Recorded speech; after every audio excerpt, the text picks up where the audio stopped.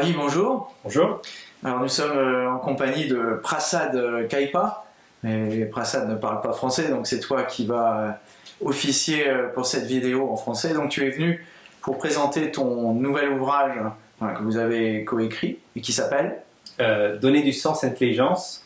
Et le sous-titre c'est Comment les leaders éclairés réconcilient sagesse et business. Donc là en fait on est en gros dans une réflexion euh, qui remonte, si j'ai bien compris, à une trentaine d'années, quand ton camarade était euh, euh, chez Apple et qui officiait avec Steve Jobs.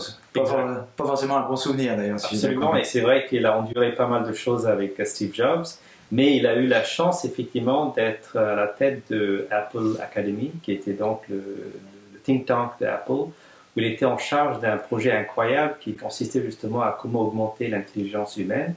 Et c'est là qu'il a découvert qu'il y avait des compétences qui allaient au-delà de l'intelligence rationnelle, qui le rendaient humain, telles que par exemple la sagesse, l'ingéniosité, d'où effectivement c'est la fondation de ce livre. Donc tu vas pouvoir envoyer un message rassurant à Stephen Hawking qui va arrêter de nous foutre la trouille avec ses robots. Euh, c'est effectivement, surtout à Silicon Valley, on parle maintenant de, l'ère euh, post-humain. Euh, comme si on a déjà effectivement atteint le, sommet de, le potentiel de l'espèce humaine. Euh, nous, en fait, on, est un peu critique de cette euh, vue un peu pessimiste hein, de l'avenir, et on pense en fait qu'on a sous-optimisé en fait des qualités humaines telles que l'ingéniosité ou la hmm. sagesse. D'où mon premier livre, hein, c'était donc le Jugal Innovation, qui essaie justement de valoriser l'ingéniosité humaine et ce livre qui essaie effectivement de montrer qu'on a tous au sein de nous euh, ces germes de sagesse, mais qui sont malheureusement pas euh, développés proprement. Alors, sagesse toute orientale qui vous honore et qui nous remonte, remonte un peu le moral. En fait, euh, je dirais, l'humain en fait, a encore un avenir dans ce monde de machines.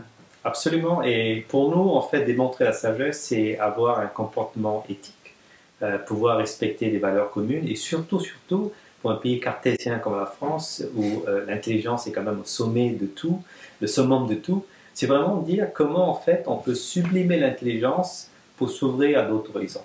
Donc c'est n'est hmm. pas une question de dire on va essayer d'être moins intelligent, mais plutôt utiliser l'intelligence au hmm. service du bien commun. Déjà, euh, à la base, euh, l'intelligence est un terme difficile à définir, qui se...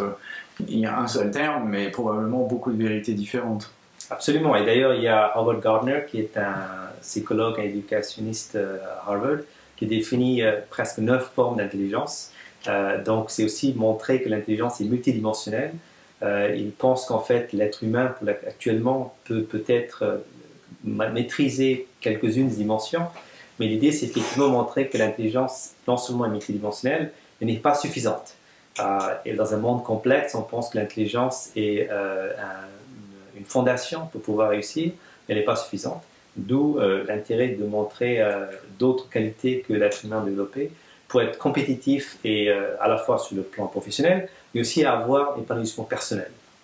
Alors donc justement dans, cette, dans ce monde un peu complexe, chaotique dirions-nous, comme dans lequel nous vivons aujourd'hui et qui est difficile pour beaucoup de gens de comprendre, euh, eh ben on va avoir besoin de développer des compétences de leadership parce que c'est pas forcément exactement ce qu'on croit. C'est pas une question de mener les masses. C'est quoi exactement cette notion Alors, effectivement, c'est vrai que le leadership, tout de suite, on pense à Patton, on pense à De Gaulle, on pense vraiment des leaders qui sont capables de mener des troupes, hein, littéralement parlant.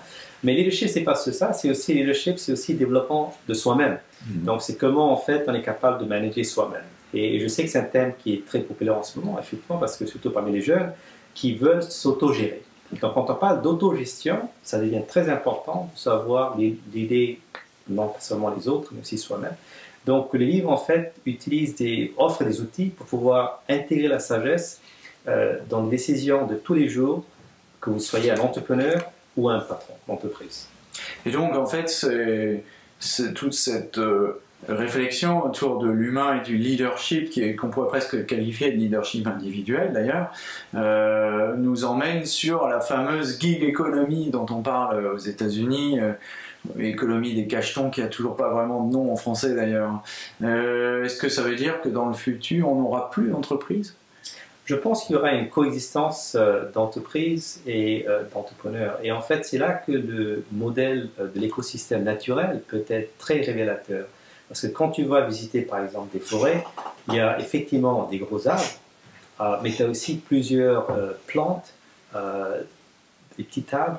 en fait, tu as tout un écosystème autour qui, en fait, se nourrit, en fait, des services, comment on appelle, des services d'écosystème, comment on appelle, qui sont offerts par ces grands arbres.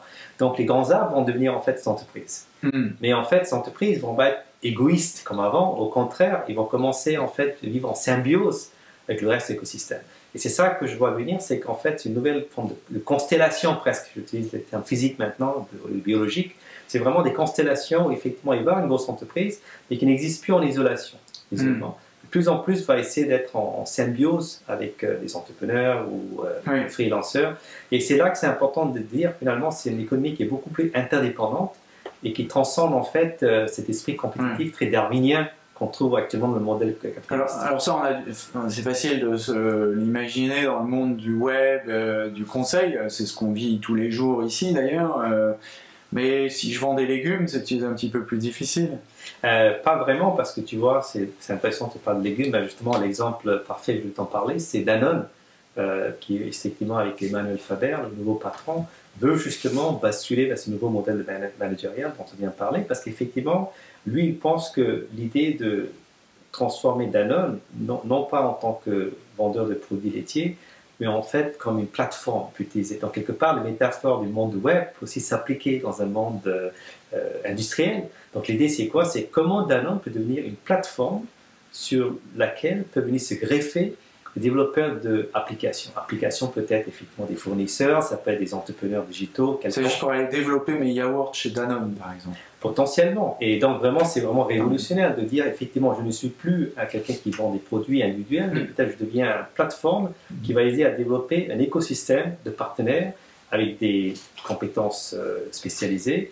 Et l'idée, effectivement, c'est ça. C'est vraiment comment je peux, en tant qu'entreprise, créer la valeur non seulement pour mm. mes actionnaires, pour mes employés, pour mes consommateurs, mais c'est vraiment une question de ce que j'appelle des méta-créateurs. C'est vraiment des, des, des, des leaders éclairés qui essaie de créer la valeur indirectement en développant d'autres entreprises. Alors si on se projette dans les allez, 10 ans prochains, si on en est capable, euh, qu'est-ce, qui va arriver dans ce monde? Donc euh, euh, j'ai un peu de mal à voir comment je vais aller fabriquer mes yaourts chez Danone. mais justement, dans les 10 ans à venir, ce que je vois, c'est que j'appelle ça l'ère de convergence, c'est-à-dire que de plus en plus, des problèmes comme, par exemple, problèmes de nutrition, parlant de Danone, les problèmes d'eau, j'habite en Californie, on a une énorme rareté d'eau, les problèmes qu'on parlait du premier monde ou du tiers monde vont disparaître. En fait, effectivement, on va avoir une convergence de problèmes, et c'est là qu'on pense qu'il faut aussi une convergence de solutions. Ah, et c'est là que la sagesse devient très importante, parce qu'aujourd'hui, qu'est-ce qui se passe vraiment en politique, en économie? On est en train de diviser, on est en train de perdre toute l'unité qui nous réunissait en tant qu'humanité. Et là, on est en train de diviser de plus en plus, et on pense que la sagesse, on va restaurer l'unité qui est essentielle pour justement préserver euh, l'harmonie dans notre euh, société.